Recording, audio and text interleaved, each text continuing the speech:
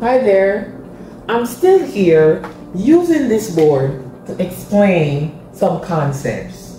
And we're still looking at the concept of how the macroeconomy works. So it's me, the BlackBored economist.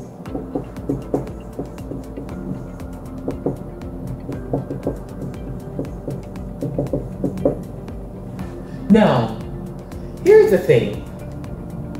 When we look at Keynes versus classical economics, we kind of boiled it down to supply versus demand. But there's a little more to this concept of how the macroeconomy works based on the school of thought.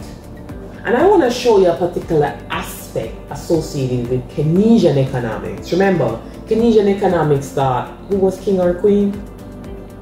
Demand. Okay? So, a fundamental aspect of Keynesian economics is this concept of sticky wages and prices. Let me bring that a little lower in case it's too high. So here we go again. Sticky wages and prices. And this is really central to what Keynes thought was important for us to understand how the economy adjusts. Now, as the name suggests, sticky, when something is sticky, right? It's slow moving, it's not something that's amenable to movement and touch. And if you think about that, Keynes argued that wages were sticky and prices were sticky.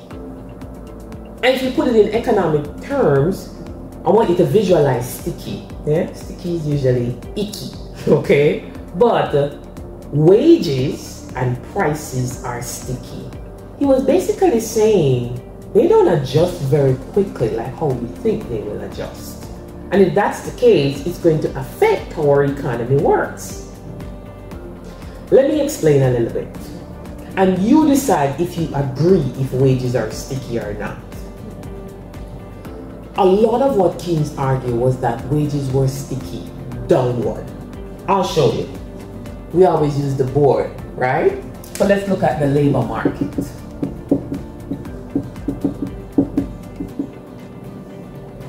And the labor market is like any other market, okay? We have the quantity of labor, I'm gonna put a little L for the labor here, and then the price of labor would be wages. Yeah? We have the demand for labor. Let's put a little L for labor. And then we have the supply of labor. And you know right here is called what? Equilibrium. Let's call it W0. You with me? Now let's say we have a shock to the labor market. Let's say this shock causes the demand for labor to increase. Okay? Let's say people are demanding more labor. People want people to work. Now the idea here is if we have a shock to this market and the demand for labor increase, how would we show this?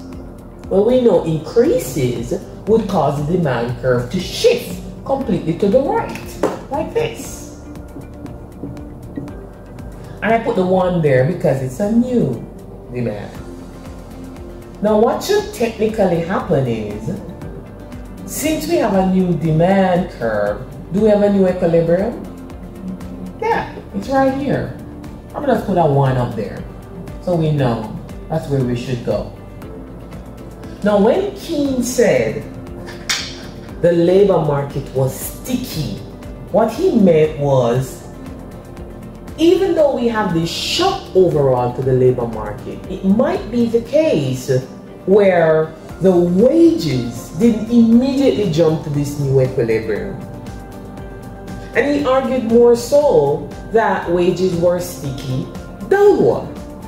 Meaning, if we had a decrease in the demand for labor, which way would this go? You're right, to the left. So, the two here. And again, if you had a negative shock to the labor market, Yeah? It should be the case where we would move from the purpose 0 to 2. But what did the sticky wages theory say? Well, wages are supposed to go to this new level at 2, but according to Keynes, wages were sticky. They would stay at W0, even though technically they were supposed to go at the new equilibrium. Now the thing is, was this true? Is it really the case where wages are sticky? Does it take time for wages to adjust? Think about this personally. Let's say there's a shock to the labor market. And from this shock, let's say it's negative, you're supposed to be at 2, meaning wages are supposed to move from W0 all the way down to this new level, which is going to be lower. Do you personally go in and say, I know how the economy works, I'm gonna take a pay cut? Do you do that? Do people do that? Is it the case where there's this sense of an immediate adjustment in the labor market where wages just drop? Think about that. Are markets adjusting as quickly as we think they are? And the answer is no. Wages will eventually come down, but it might take a little bit of time. There's an adjustment process in the economy. And it's especially sticky down on who's rushing for a pay cut. So there was some practical truth to what Keynes was saying. Wages are sticky. Now here's the problem. When we had a negative shock and the wages were supposed to come down, but they don't, we are now out of equilibrium. If wages are sticking at W0 when they really should be lower, then what we have is an excess supply of labor. I'm gonna put in these little shadings here for you to see that excess. And that excess supply of labor has a name. When you have excess labor, what is that called? Too much labor, excess. That's called unemployment.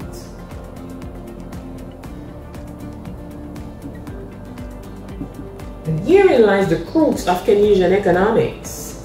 If wages are sticky, especially downward, when we have a negative shock in the economy, expect unemployment to be something that persists. And the stickier and the gooier it is, the longer the unemployment persists. Because really, wages need to drop for the labor market to adjust. If they don't want to drop, we end up with unemployment. So negative shocks can be very devastating for the economy. We'll go through a recession and we'll have unemployment persisting if wages don't come down. Wages are sticky, and if they are sticky, and if they are really sticky, then we have some macroeconomic instability. Guess what? Keynes had the same idea not only for wages in the labor market, but for prices generally. And we'll do that fairly quickly in the goods market.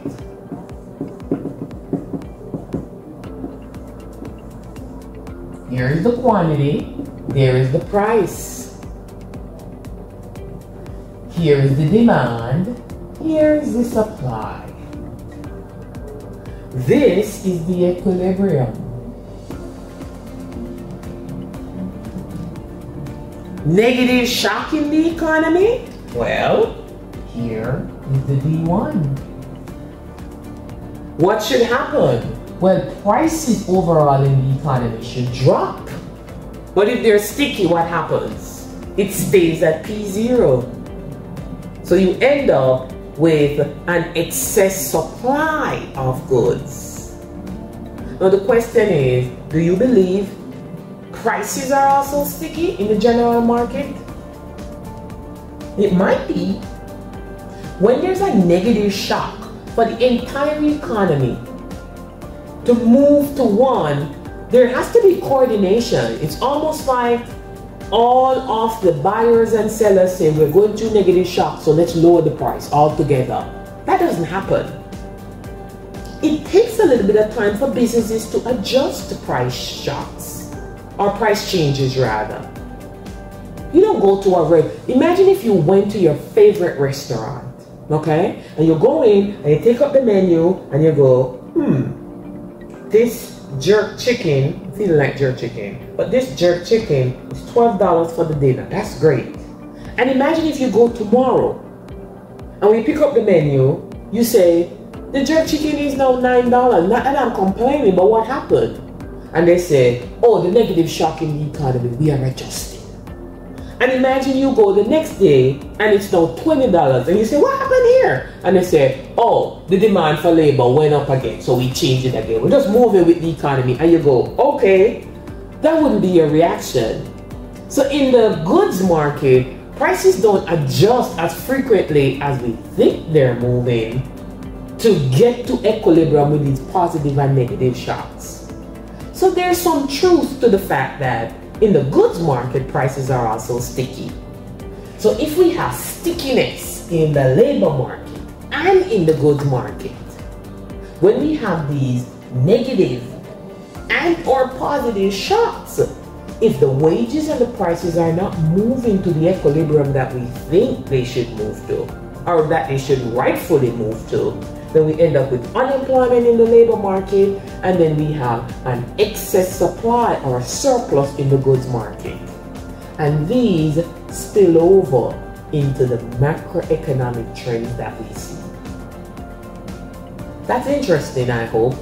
And I hope me using the board here to show you kind of give you some insight into the concept of sticky wages and prices. The next video I'm going to show you I'm going to bring it all together and I'm going to show you how this translates to stabilization in the macroeconomy. Until next time.